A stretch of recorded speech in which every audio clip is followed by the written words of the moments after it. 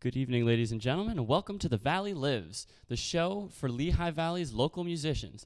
Tonight, our sponsors are Moravian Academy and Blue Chip Sound, and we want to thank them for their support in making this event possible. Tonight, we have an incredible folk artist from Orefield, Pennsylvania.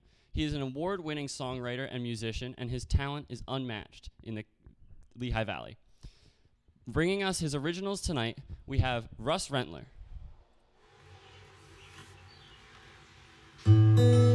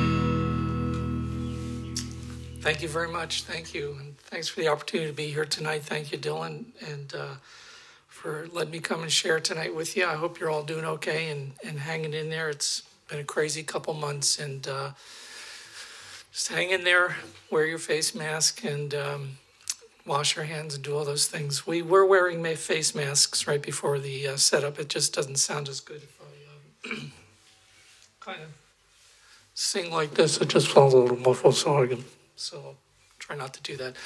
That first song is called uh, Footsteps. It's an instrumental I wrote many years ago.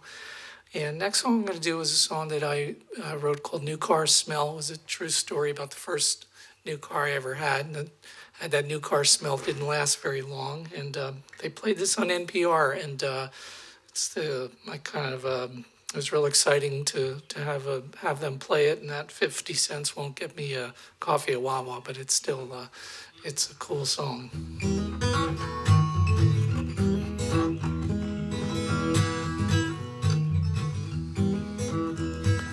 When I got my new car and I drove it off the lot, spilled my cup of coffee and it was steaming hot. The aroma of the coffee beans and the cream as it did rot made me suddenly realize that my new car smell was shot. I like to eat my breakfast when I'm on the run. Banana peels and hard boiled eggs, oh, they're so much fun. I like to toss the apple cores and empty yogurt cups over my left shoulder, cause I think it brings me luck. That new car smell has never been much to me, never even been a possibility. The aroma of this sweet old earth is more my cup of tea. I got a compost pile growing underneath my seat. Well, my wife, she won't drive with me unless the windows are rolled down. My neighbors hold their noses as we drive it into town. But we don't need the heat on cause we're warmed organically. I got a compost pile growing underneath my seat. Well, my son, he wanted to borrow my car to go out on a date. I told him to use protection, those gas masks are great. He told me not to worry, cause his girlfriend would understand. Cause she was the daughter of the Roto-Rooter man. That new car smell has never been much to me. Never even been a possibility. The aroma of this sweet old earth is more my cup of tea. I got a compost pile growing underneath my seat.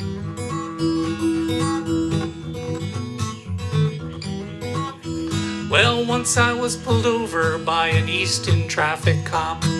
When I rolled my window down, his countenance did drop. I knew I was in trouble, but I didn't know what to say. When he called in reinforcements from the EPA. Well, sometimes I do wonder if I'm a hazard on the road. One more rotten sandwich and I know she could explode while we're worried about those weapons far across the deep blue sea. Driving through your neighborhood in a WMD. That new car smell has never been much to me. Never even been a possibility. The aroma of this sweet old earth is more my cup of tea. I got a compost pile growing underneath my seat. I got a compost pile growing underneath my seat.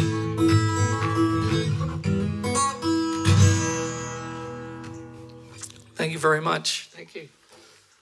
I can telepathically hear you clapping and saying, so that's uh, that's why I say thank you. Plus, I just appreciate. I want to thank you guys for just uh, listening to the music and and being willing to kind of take part in these virtual events. Next instrument I'm going to play is a very special instrument to me. It's called a chorded zither or an auto harp. Friend of mine named Bob Taylor made this in the 19 late or mid 1980s. He was one of the premier auto harp makers at the time, and um, it's his birthday today. So uh, wish Bob Taylor a happy birthday. It's not the same Taylor as Taylor Guitars. Um, it's a different Bob Taylor, but if you go to my Facebook page and you see his name, you can wish him a happy birthday. Happy birthday, Bob. This is a beautiful auto harp, and Bob gave me this auto harp many, many years ago, and it got me started on this incredible journey of auto harp playing.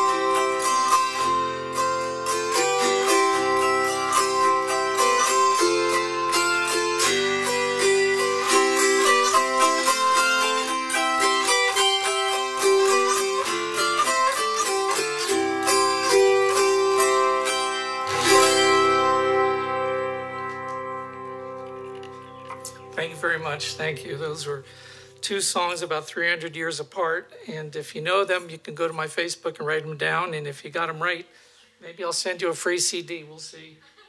First person who can uh, come up with that. Um, and if you already know it, then maybe you, you can let somebody else win the CD.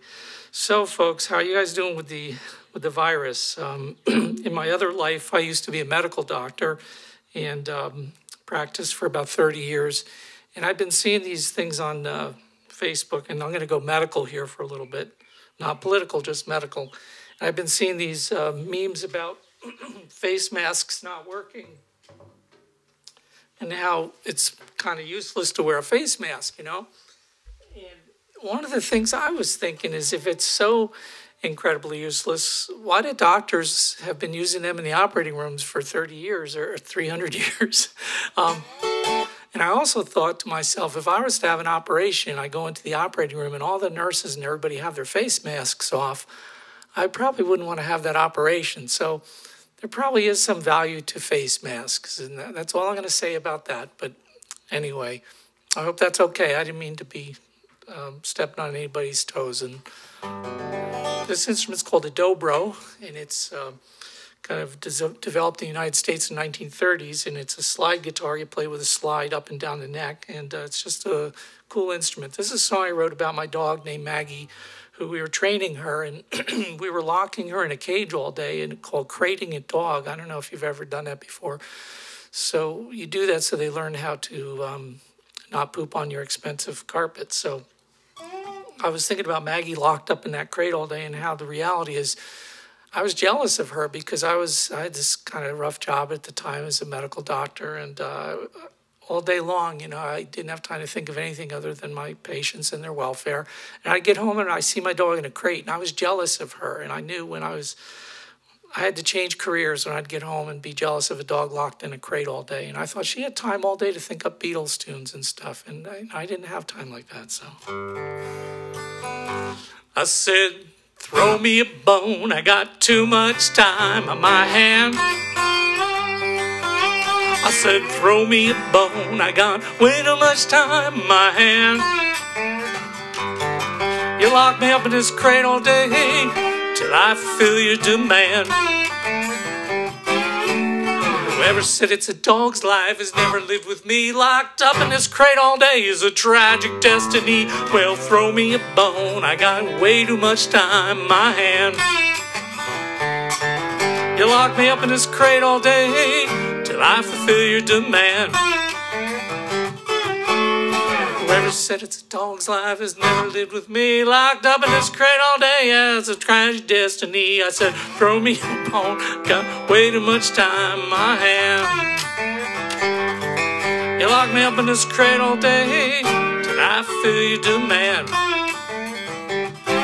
Well, this brown food you're feeding me is called the science diet. Well, if it really tastes so good, why don't the scientists try it? I said, throw me a bone, I got way too much time in my hand. You lock me up in this crate all day till I feel your demand.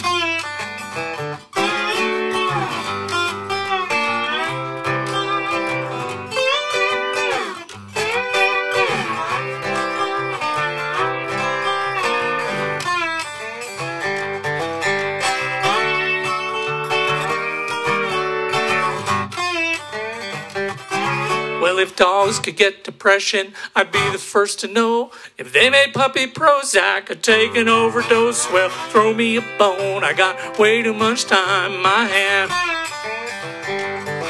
You lock me up in this crate all day till I feel your demand. I said, throw me a bone. I got way too much time. My paws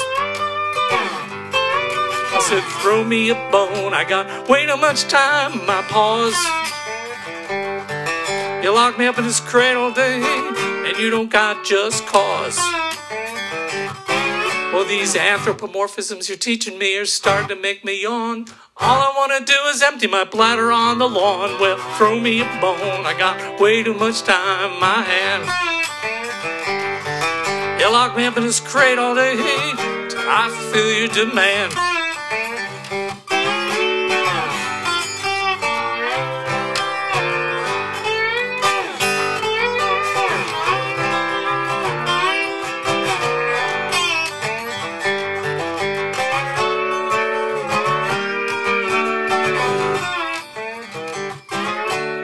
I could reach a telephone, I'd tell you what I'd do. I'd call up the ASPCA and tell them all about you. Well, throw me a bone, got way too much time on my hand. You lock me up in this crate all day till I fulfill your demand.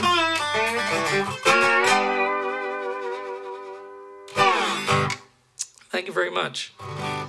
Thank you so much. Uh, next little tune I'm going to do is a. Actually, I didn't write this song. This was um, Mark Heard did the song, and Mark was a great songwriter. Who's uh, he uh, passed away when he was very young, but um, Mark was uh, just just an amazing. Bruce Cockburn actually had written a song about him after he passed away, but this is a song that kind of fits for our times. It's kind of about uh, how when everything seems dark and it just can't get any worse, somehow we have to just believe that, that someone's listening to our cries. So. When the weight of the world comes crashing down on you, he will listen to you. When the sky turns black and your thoughts turn blue, he will listen to you. He will listen to you. Always listen to you. He understands how his children feel. God will listen to you.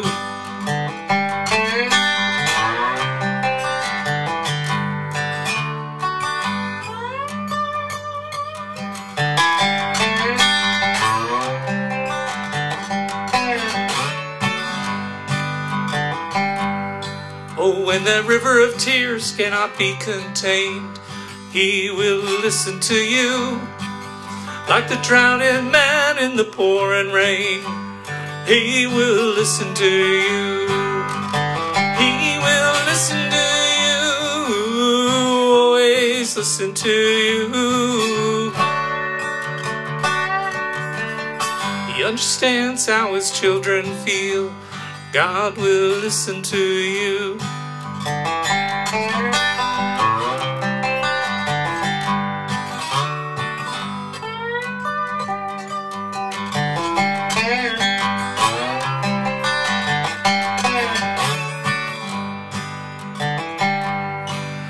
When that light explodes in a world gone wrong, He will listen to you.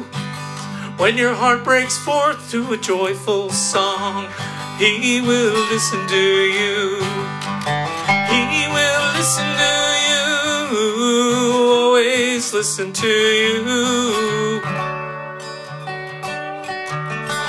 He understands how His children feel. God will listen to you. Understands how His children feel. God will listen to you.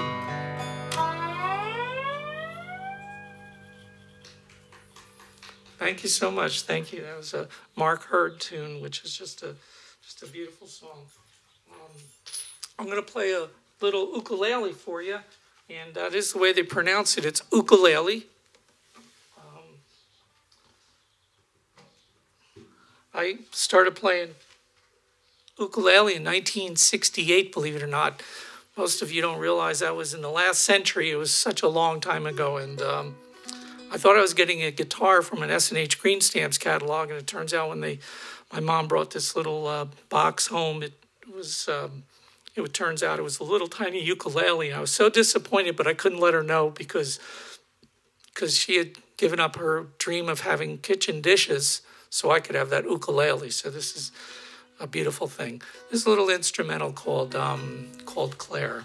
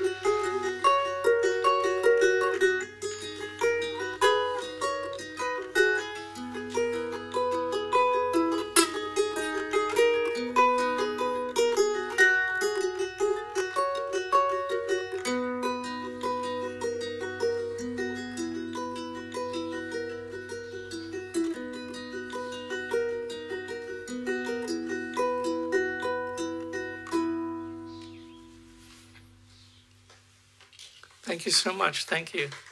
Thank you. Actually, I have a live audience now. This is exciting. now I'm really going to be nervous. so I'm going to do a little song I wrote for my wife. It's called No Tears in My Teardrop. And when I first retired from medicine, I built a teardrop camper because um, I'm very frugal and didn't want to buy one. And uh, on a Harbor Freight trailer, four by eight, and we drove across the country in a little teardrop trailer that we could tow from a car.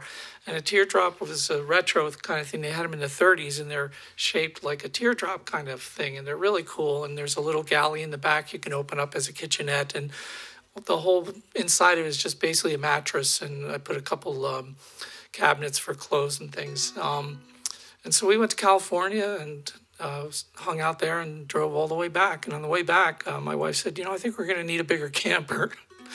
so we went to um, went to Walmart and I bought a tent one night and um, set up the tent next to the teardrop. Um, and one of us slept in the tent for the rest of the trip. And you knew who that was. I snore a lot, so I slept in the. It was just after about the tenth week. My wife said, got to do something. So, anyway, this is a song for for my wife Debbie. It's about our teardrop camper. I did end up building a bigger one, so it's called "No Tears in My Teardrop."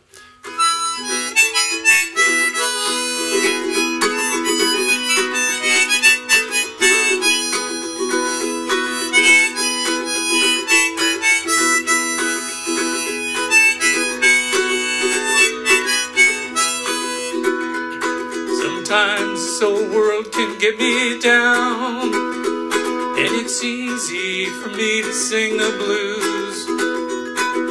Nothing in this world can turn me around, like thinking of my teardrop with you. There'll be no tears in my teardrop as long as I'm camping with you, with you. There'll be no tears in my teardrop, and my campfire will always burn for you.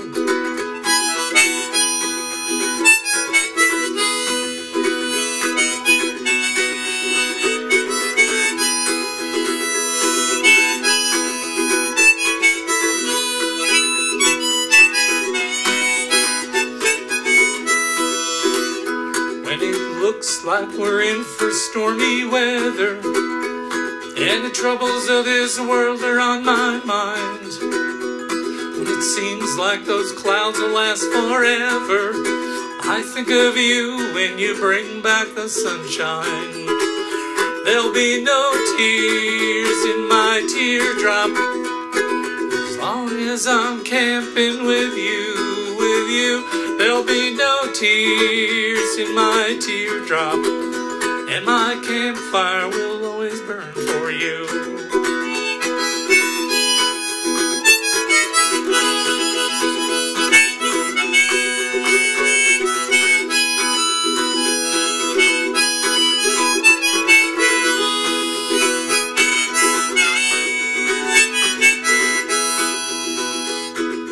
nothing in this world that is better than waking up in the morning next to you.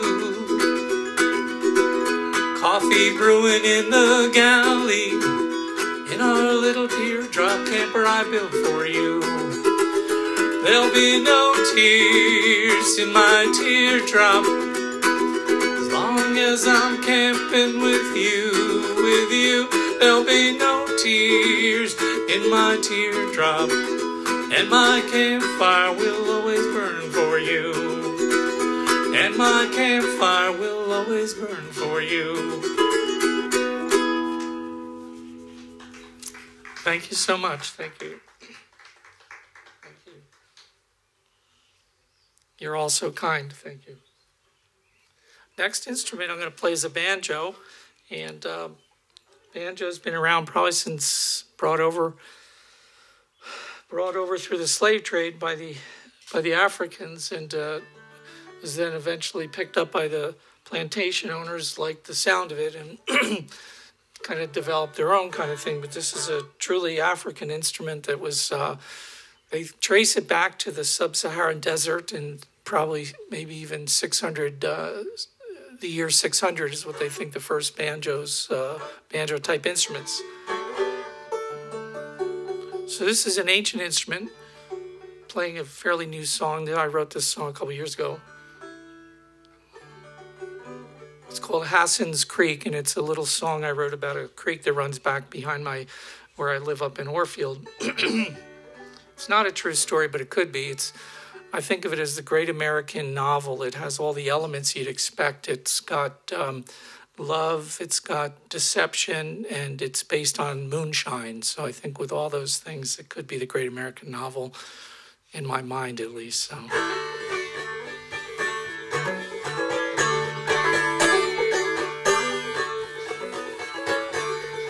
I know a girl on Hassan's Creek.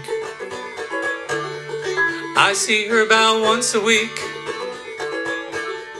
Skin so fair and eyes so blue, I think about her all the time. Pretty little girl on Hassan's Creek, I'm gonna make her mine.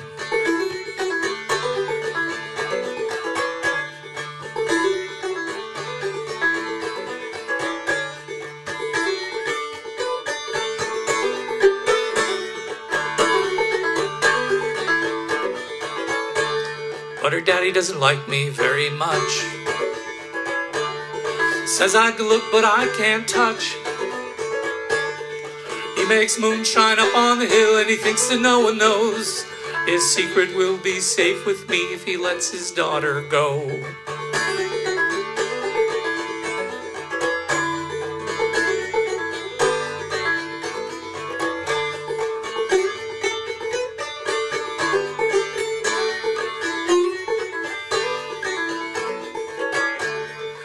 The revenue officer is coming to town, asking questions, poking around. I told her daddy I'd make him a deal if he'd give me his daughter's hand. My lips would be forever sealed about the moonshine on his land.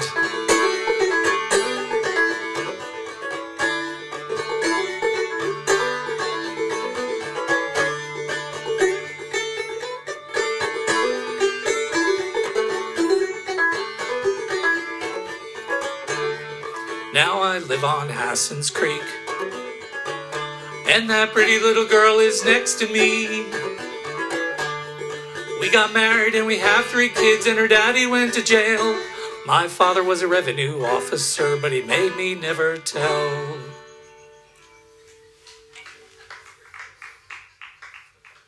Thank you so much. Thank you.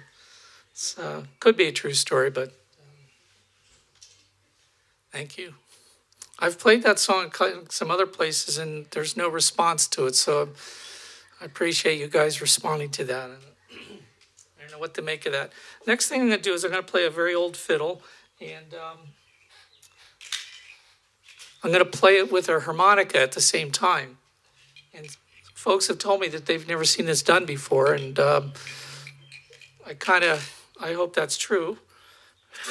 Maybe I'll go down in musical history as being the only um, it's really going to go down in history as somebody who had too much time on their hands. But anyway, so playing the violin, a non-fretted instrument with a harmonica, is akin to.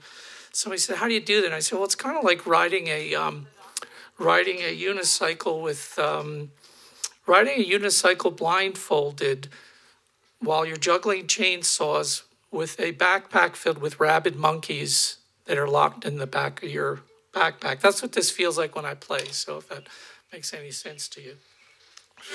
This is an old tune from Texas, West Texas, called Westphalia Waltz. Probably is really from Europe originally. So you can all dance a waltz if you want tonight. It's a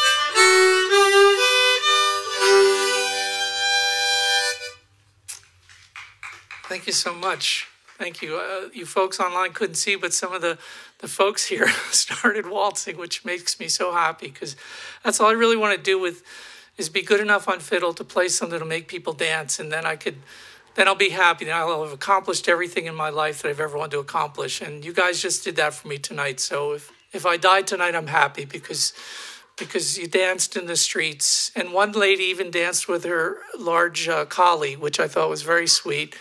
What is the name of your dog, ma'am?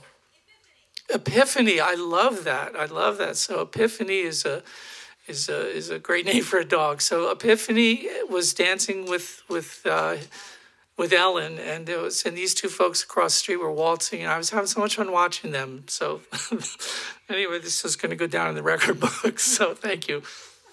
Um, how much time do I have? Where where we at? My phone stopped. 20 minutes, okay.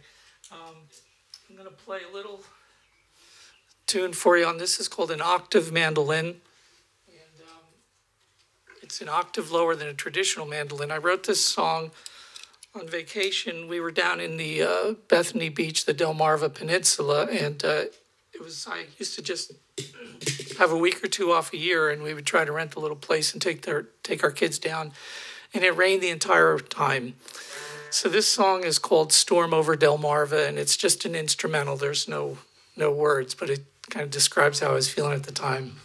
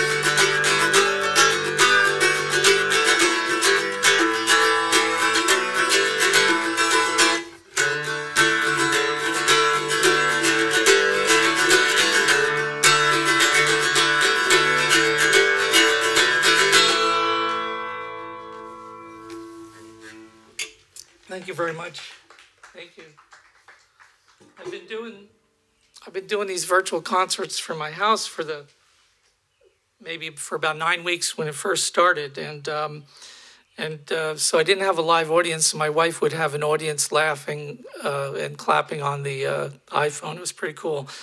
So so it's nice to actually have a real versus virtual uh, virtual audience. This is this next instrument is an actual real mandolin. This is made in 1913 by the Gibson Company, and it's just a classically beautiful old uh, mandolin.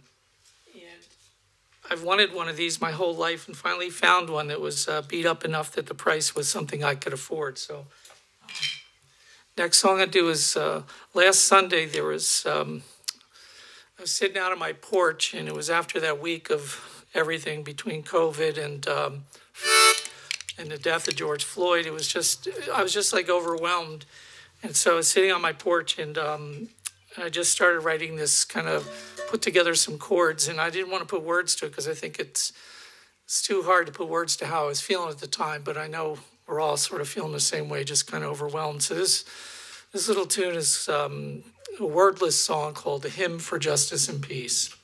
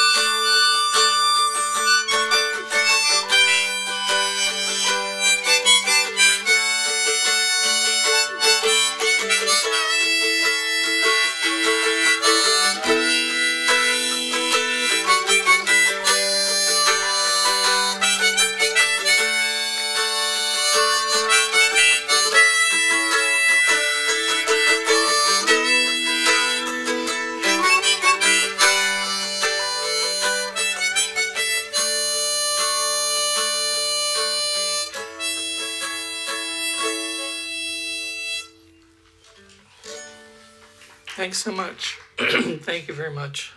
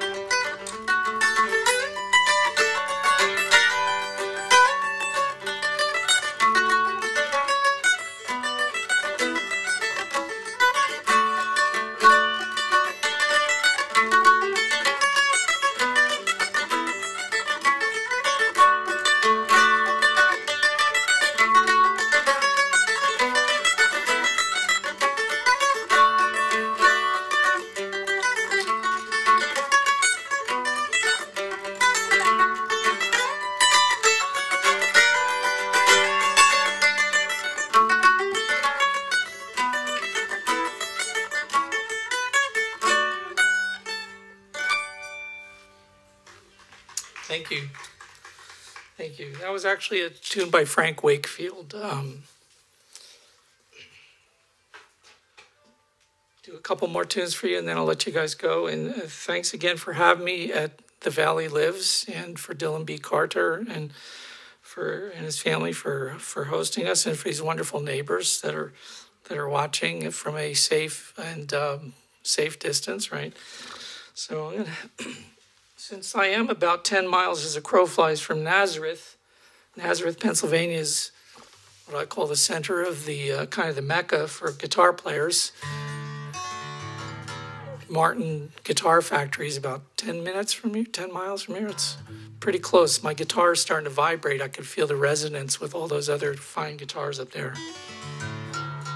So I'm going to do a little song about Martin guitars. I wrote this when I was uh, 15 or 16 years old when I first came to Lehigh Valley driving from New Jersey.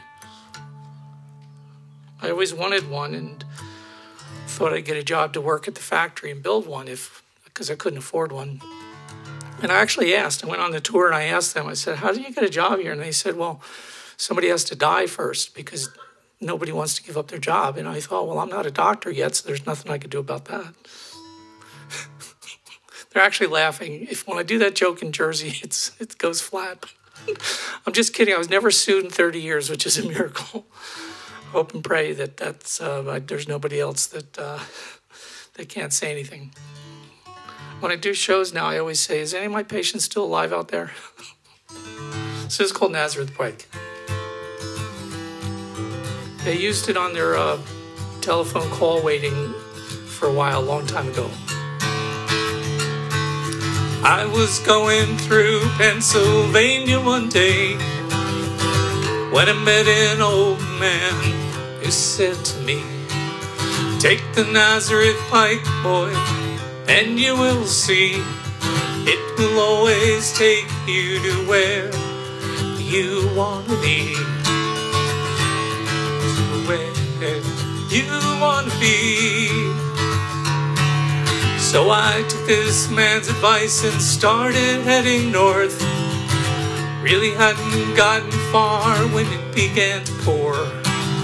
Baggage and I all got wet.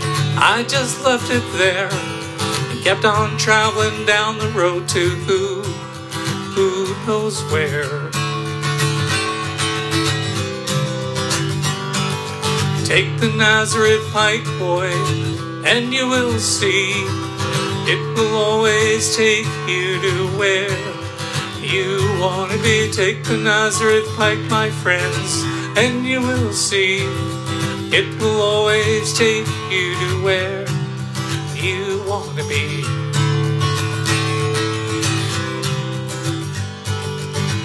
And then I came to a very busy town. Little kids were playing, there were flowers on the ground. On the outskirts of this town, there was a factory where they made the most beautiful guitars that you would ever want to see. Ever want to see. So I went to see if I could get a job building those guitars. But they didn't need me. Guess I'd come too far. So I went to college studied biology, but you all know where my heart, where I would rather be. Take the Nazareth Pike, boy, and you will see it will always take you to where you want to be. Take the Nazareth Pike my friends, and you will see it will always take you to where you want to be. Sometimes when my life starts to get me down, I pick up this old guitar and listen to the sound. Takes me back down to the days when I was a youth. If you keep on pressing on your dreams, your dreams can come true. My dreams have come true. Take the Nazareth Pike, boy, and you will see it will always take you to where you want to be. Take the Nazareth Pike, my friends, and you will see it will always take you to where you want to be. Where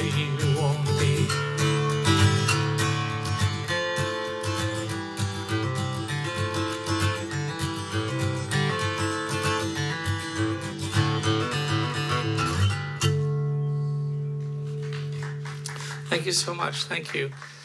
Thank you. I'm going to do um, one or two more songs. And um, thank you all for coming out tonight.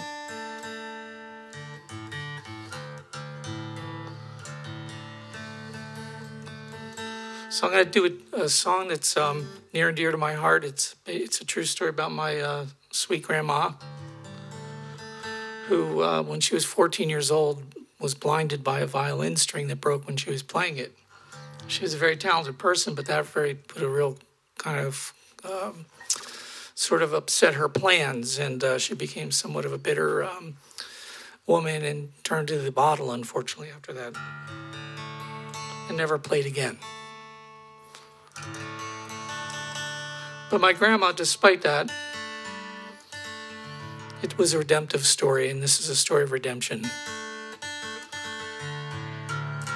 I ended up getting um, got her violin as well as her ukulele, which was very sweet.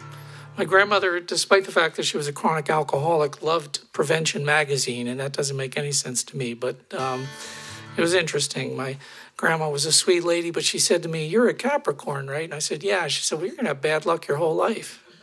I thought, How many grandmas tell their eight year old that? And um, but when the violin broke and hit her in the eye, it, it causes disfigurement where her whole eye was opacified, kind of like if you've ever seen Marilyn Manson, that punk rocker. He has this uh, white um, pupil in his eye. It's just scary looking. So my grandma was kind of scary.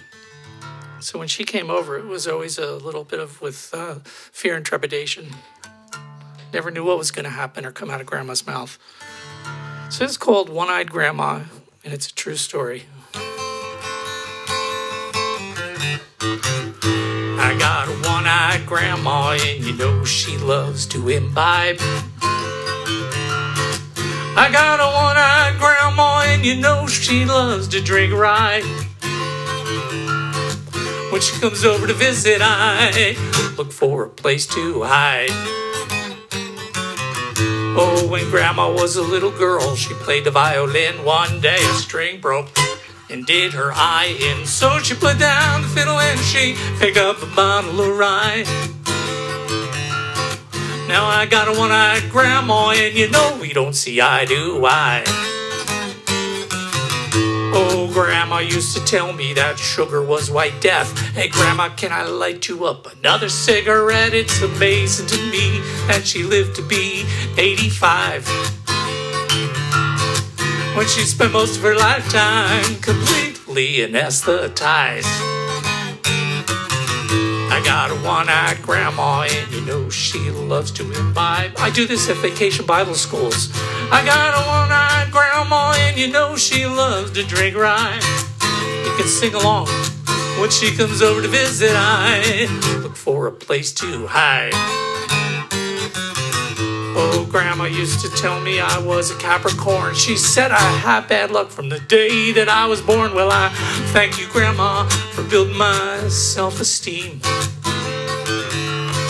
Well, if it wasn't for Jesus, my best friend would be Jim Beam. Ah, you're all probably wondering how I stay so clean. It's the grace of God and St. Caffeine, but I keep my psychologist number. You know, I keep it on speed dial. At 150 bucks an hour, she says I can call her anytime. I got a one-eyed grandma, and you know she loves to imbibe. I got a one-eyed grandma and you know she loves to drink right. When she comes over to visit, I look for a place to hide. Oh, the apple doesn't fall very far from the tree. I got a mama who likes her cheap whiskey. Well, mama and my grandma both love the fruit of the vine. And when they get together, those sparks, those sparks are gonna fly. I know this story's been sad and I'm not too proud, but there's a silver lining to this hereditary cloud, cause I thank my grandma for giving me this musical gene. And that three string violin that she left me.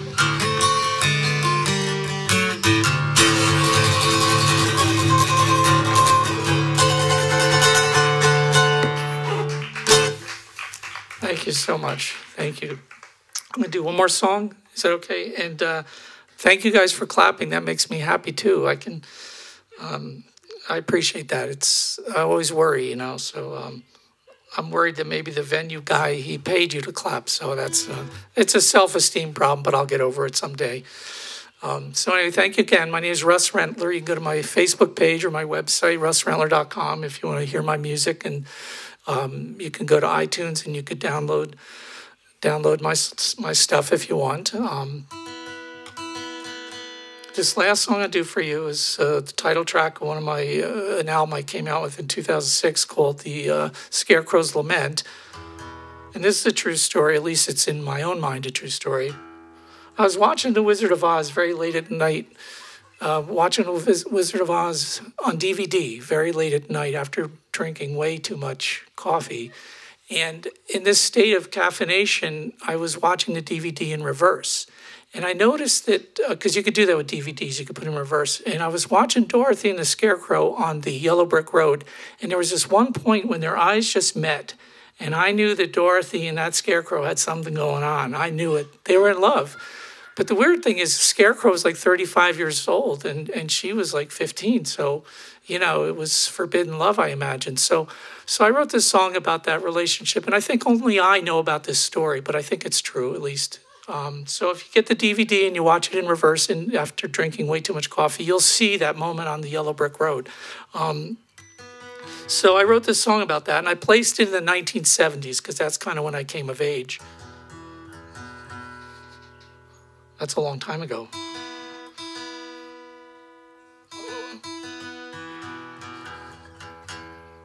Unfortunately, these Martin guitars still got to be tuned. So, thank you so much. God bless you, Dylan. Thanks for having me tonight.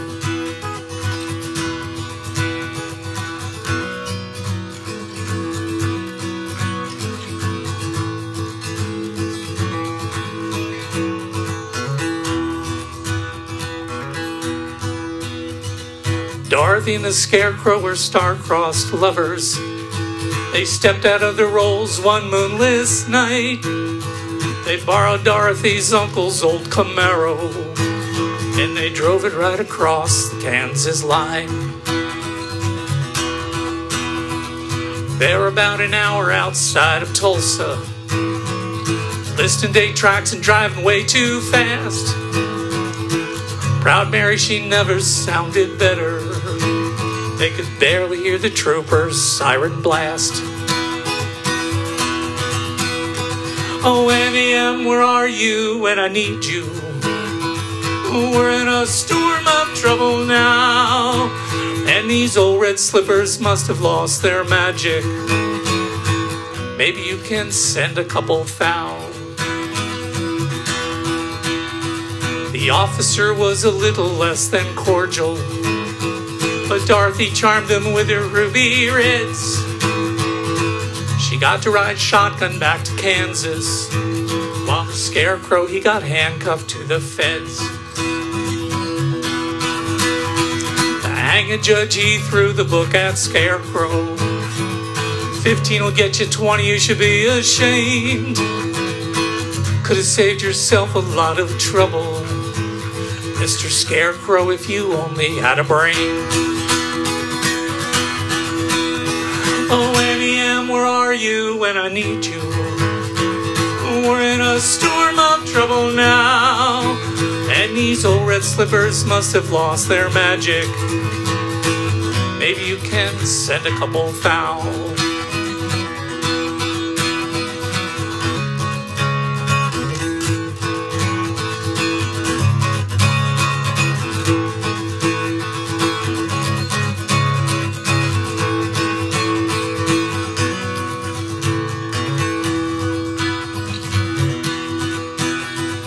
Dorothy's back in Kansas doing homework. Scarecrow's in the slammer doing time. Some days feel longer than others when he can't get Dorothy off his mind. Some nights he dreams of flying monkeys. Some days he fears he's gone insane. He's studying to be a malpractice lawyer. It's amazing what you can do without a brain. Oh, Auntie Em, where are you when I need you? We're in a storm of trouble now, and these old red slippers must have lost their magic. Maybe you can send a couple foul. Oh, Auntie Em, where are you when I need you? We're in a storm of trouble now, and clicking my heels together just ain't working. Maybe you can send a couple foul. Maybe you can send a couple foul.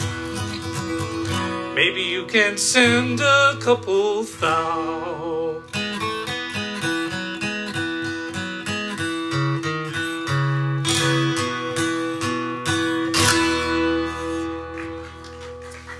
You so much. God bless you. Stay well. Thank you. Thank you so much, Russ. It's been great to have you tonight. Such a talented musician of your well known. It is incredible to have you. Thank you so much. Ladies and gentlemen, next week we have a show. Uh, Mark and Ralph acoustic duo will be performing next week. Uh, and you can also view the full schedule on our website. Have a good night, everybody, and stay safe. Thank you.